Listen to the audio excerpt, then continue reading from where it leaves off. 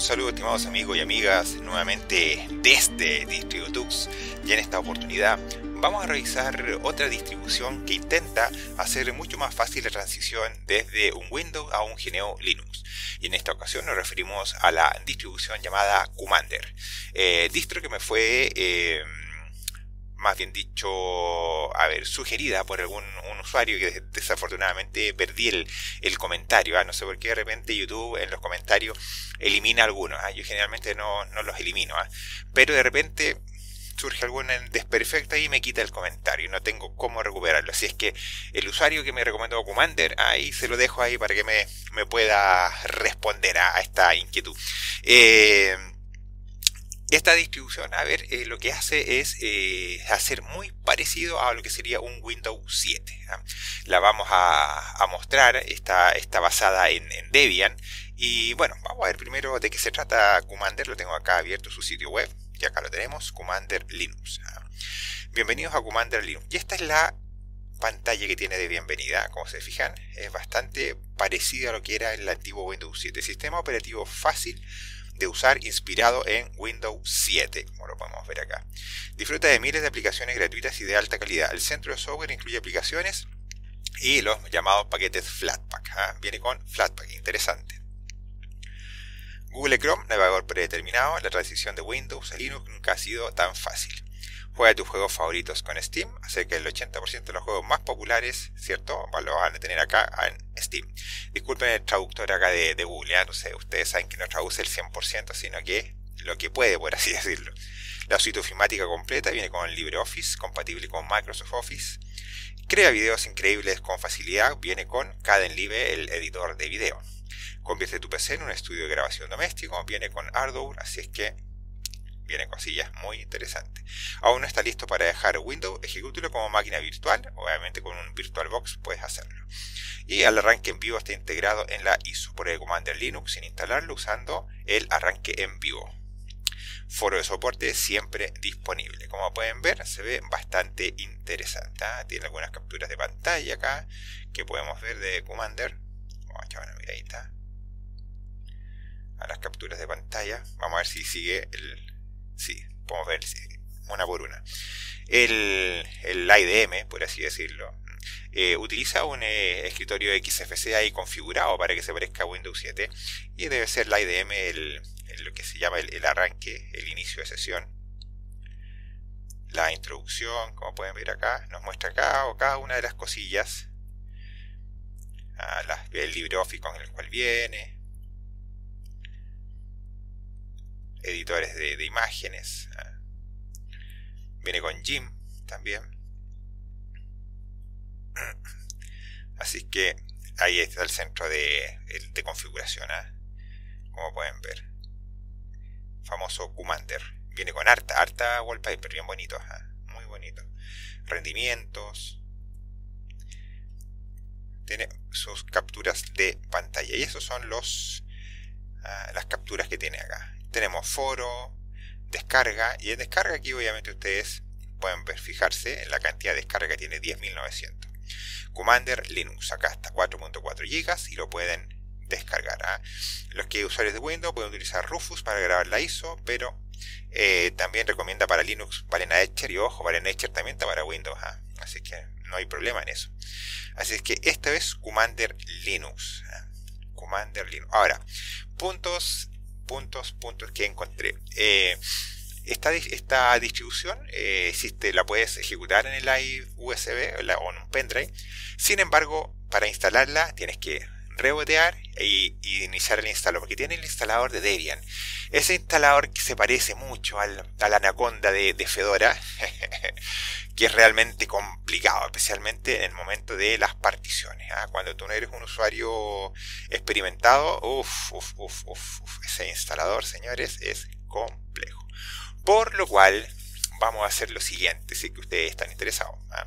Eh, voy a instalar eh, Commander Linux voy a utilizar PenguinX para crear una ISO personalizada. Y recuerde que PenguinX, este programa, le agrega el instalador Calamares. Es decir, vamos a tener un Commander con instalador Calamares y vamos a evitar el instalador de Debian.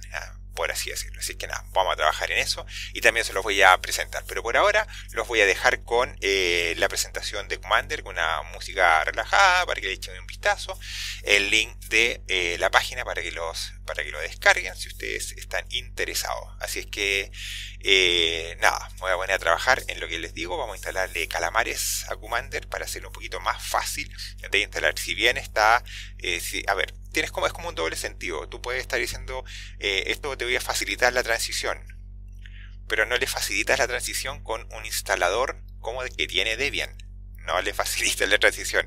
Te enfrentas a eso y no instalas ni por si acaso. Uno más, más eh, intuitivo es Calamares ya no digamos que es, el, perfecto, pero es más intuitivo, un poquito más intuitivo, más fácil de, utilizar para el que quiere iniciarse en lo que es GNU. Así que nada, bueno, vamos a ver el video y eh, nos estamos viendo en una próxima edición. Recuerden que se nos viene ya como el video 6 de, eh, de eh, Terminal de Linux, así es que tenemos harta pega por delante. Así que nos vemos, lo dejo con el video y nos estamos viendo. Saludos a la comadre, saludos al compadre, bye bye.